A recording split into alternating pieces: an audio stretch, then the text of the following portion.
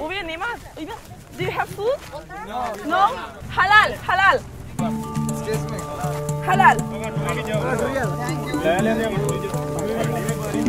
halal. Tamam, I will come back. In comparison to a normal refugee camp, you know, refugees stay for a couple of days or months or years. Here they just come and go and come and go. It's like a never-ending sea of people. What are you studying? Nothing. I was in school and I escaped. Why? The family condition was not good, so I escaped from Kabul to my hometown, and there I was warned by Taliban because I knew English. They were thinking that I was working with foreigners. They warned my family, and now I don't know where my family is. Can I take a picture of you for memory? Even though maybe you spend just a couple of hours with them, you still get attached easily. They need someone to talk to and someone to lend a friendly ear to their trouble, so it's easy to, to share personal things and bond with them. Goodbye. Bye bye, good luck.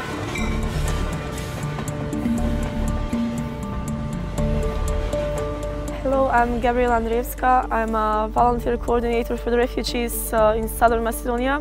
I come here on a daily basis to um, help the refugees.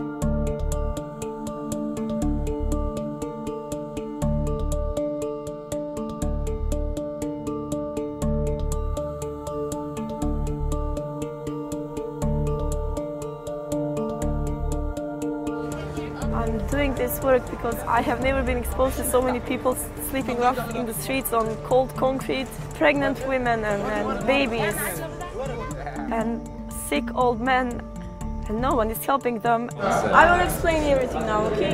Now you're in Gevgelija, okay? When you take the train Yes. and you need to get off in Tabanovce, okay? Tabanovta, yes. Then what I have to do? Then you walk. To walk all the time. Nimše 8 kilometer. Yes. Don't walk on the train tracks, walk by the train tracks. By okay? Yeah, here. Because train will come. Exactly. Preševo is the first place in Serbia where you can get the Serbian papers. Why do you need the Serbian papers? So that you can legally use the bus, taxi, train in Serbia or go to a hotel. Yes, Yeah. I understand. Okay, thank you very much. You're welcome. It's amazing how many people think that they can simply uh, take the train or bus and it will take them to um, uh, to Belgrade or somewhere, but they need to cross the border on foot. سوريا Where are you going? تو بلجم انا جاي من تركيا تركي تركي How? بالبلم ولا بالبحر ولا بلم not good Not good? no very dangerous too much dangerous too much cold And with the kids? yes I have two kids شو اسمها؟ جنى German. Chestnut? Wait. Previously, I would see, before June, I would see maybe 20, 50 people per day. And then in June, it became 300 refugees per day. In July, it became uh, 500 to 1,000 refugees per day.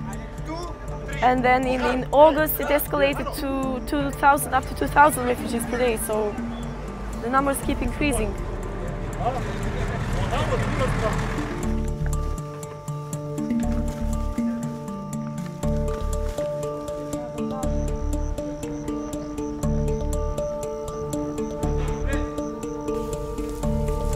On the Macedonian side of the buffer zone.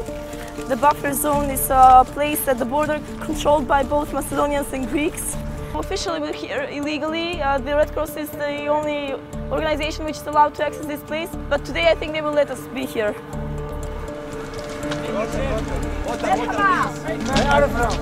Macedonia! Macedonia? Where are you from? Syria. Ahlan wa sahlan. Mike? Thanks.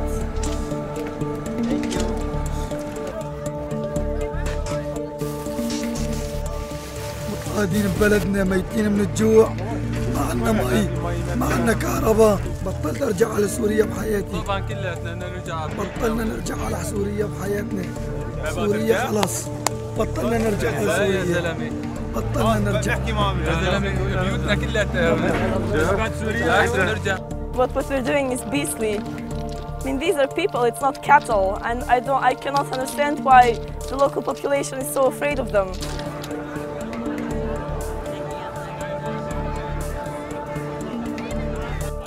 feels really nice to help people. It gives, it gives meaning to your life, actually. We're all human beings and it, this could happen to anyone. في طفل لا طفل طفل تمام You cannot prevent people from fleeing a, a war-torn uh, country. They must be allowed to, to, to go wherever they want to. It's a right. It's a, it's a human right. السلام عليكم